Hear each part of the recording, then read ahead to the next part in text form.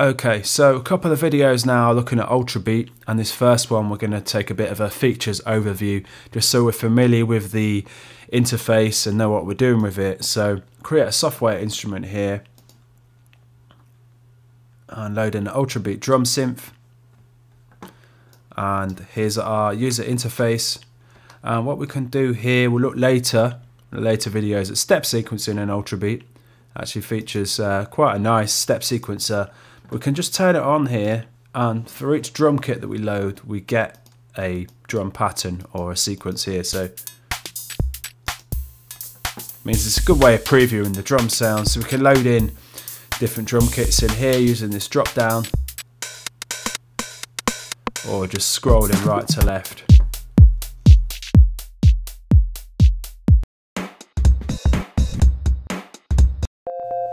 and uh, we get really fine detailed control over each drum sound in Ultrabeat. So I click on the different samples over here and loads in this section in the middle here. This is different, this is specific to each sample.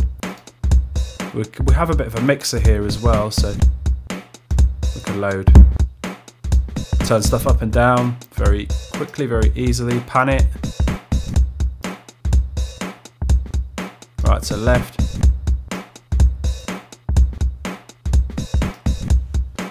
Uh, or we can mute or solo stuff very easily. We also have a master volume up here.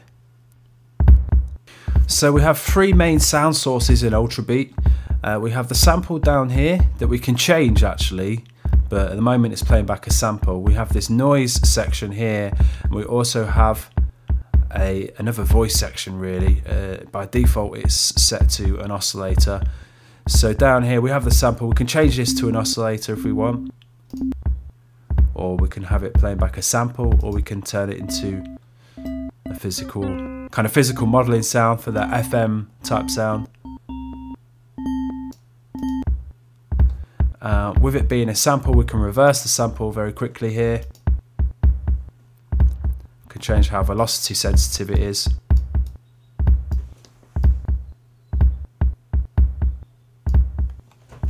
And then we have some pitch controls.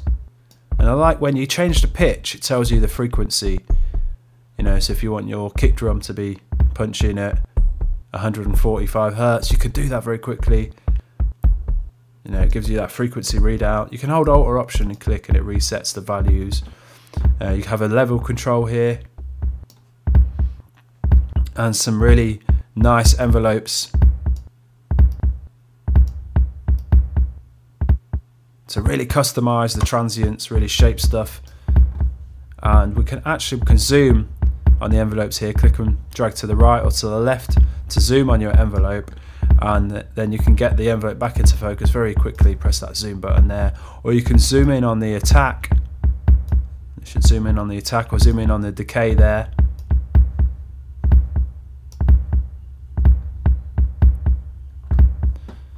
and then turn the noise off. We'll now take a look at this section at the top. I turn that off, because uh, we have this.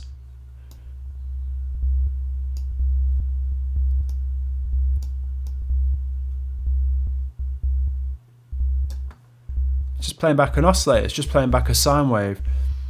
And it's quite a simple sound, but this is a great way of very quickly adding low end to a kick drum you can tune it here. So you could tune it to, if you say your, your track was in D, for example, you can tune your sine wave to D very quickly, or C. And you're just adding some nice warm low end to a kick drum very quickly. And you have more controls so we can start driving it, changing the wave shape a little bit that's represented in this waveform readout. Tell you it's more of a square wave now.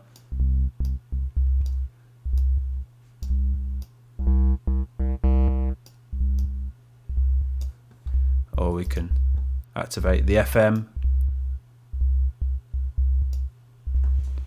and then it becomes a frequency modulator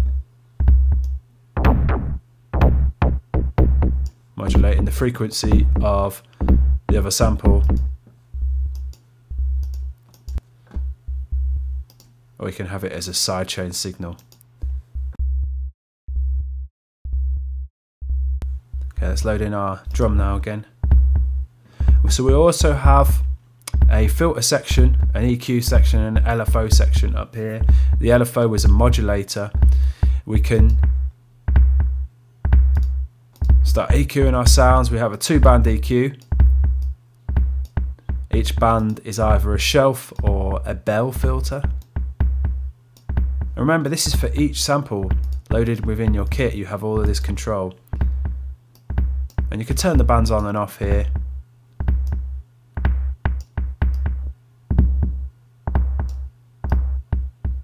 Very useful for adding a bit of low end to the kick and then scooping out some of the mids. Compare. And we can send any one of these sources, the, the sample, the noise, or the oscillator, we can send it to the filter here using these buttons. So if we solo up this kick drum, can send this into the filter section and in the filter section we can either have a low pass, high pass,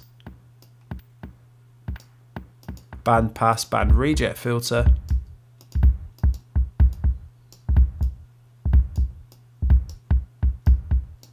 turn the filter on and off. And we have the cutoff and resonance controls. And we also have some distortion controls.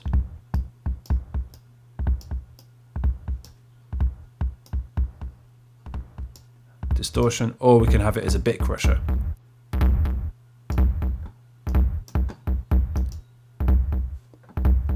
So we could have some setup like this where the kick drum's getting quite heavily driven filtered slightly. However, our sine wave is remaining pure and clean and not getting driven at all because we've not sent it into the filter. So Really nice scope, lots of really nice control. Now let's load in a clap.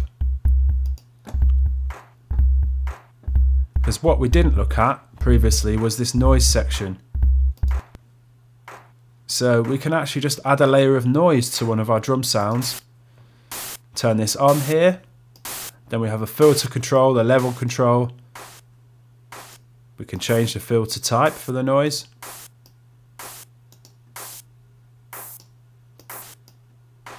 or increase the resonance. This dirt control is a bit like a bit crusher. I know we can send this into the master filter and apply some further distortion to everything.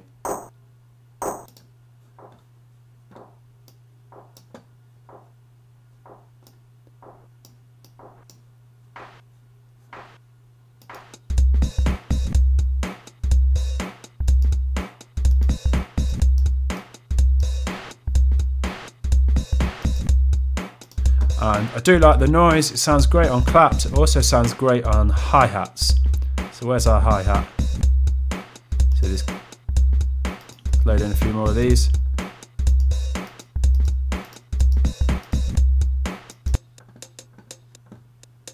So if we want to add a bit of a burst, a high energy, kind of high frequency to this, just turn on this noise.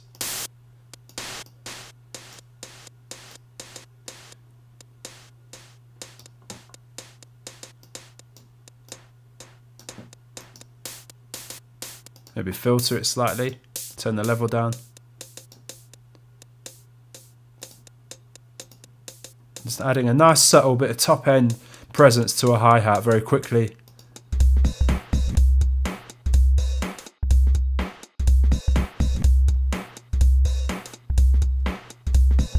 It's a bit of a brief overview there of some of the master controls for Ultrabeat. In the next video, we'll look at some more specific sound design with Ultrabeat and also how we can use the envelopes and the LFOs as modulators.